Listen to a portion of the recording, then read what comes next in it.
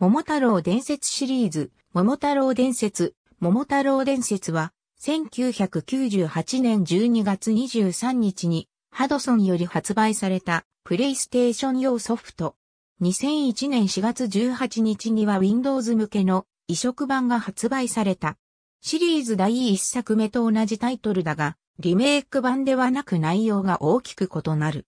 桃太郎伝説、桃太郎伝説2、新し桃太郎伝説、桃太郎伝説外伝の内容をミックスし、新要素を盛り込んだ作品。開発初期には、桃太郎伝説ミックスと呼ばれていた。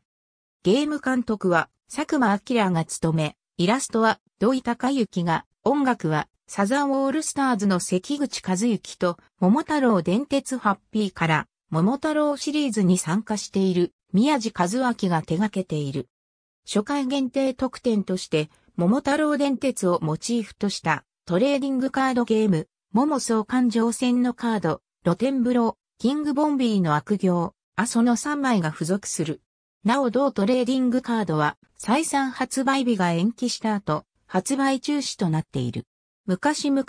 あるところにおじいさんとおばあさんが住んでいた。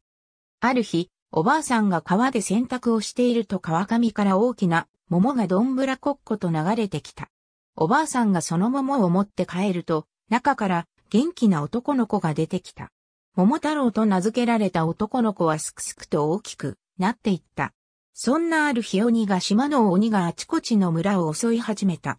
桃太郎は苦しんでいる人々を救うため、おばあさんにもらったきび団子を懐に鬼退治の旅に出発した。ありがとうございます。